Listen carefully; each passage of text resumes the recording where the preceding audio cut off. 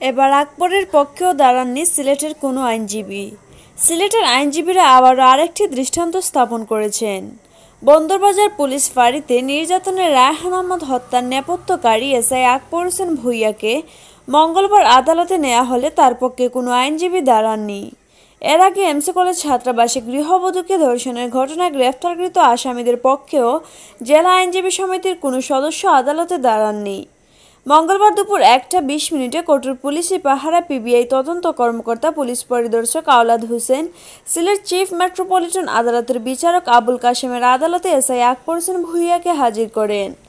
এ সময় তদন্ত কর্মকর্তা আদালতে সাত দিনের রিমান্ড আবেদন করলে আদালতে সাত দিনের রিমান্ড মঞ্জুর করেন। এ সময় আসামি আকবরের পক্ষে আদালতে কোনো আইনজীবী ছিলেন না।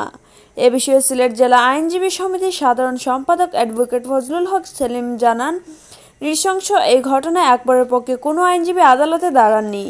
সমিতির সিদ্ধান্ত নয় সবাই নিজ নিজ অবস্থান থেকে এটি করেছেন বলে তিনি জানান। সোমবার উল্লেখ্য, সকালে কানাইঘাটের দোনা সীমান্ত এলাকা থেকে খাসিয়াদের সহযোগিতায় পুলিশ আকবরকে গ্রেফতার করে। সোমবার জেলা পুলিশ রাত সাতটার দিকে আকবরকে পিবিএ এর কাছে হস্তান্তর করে।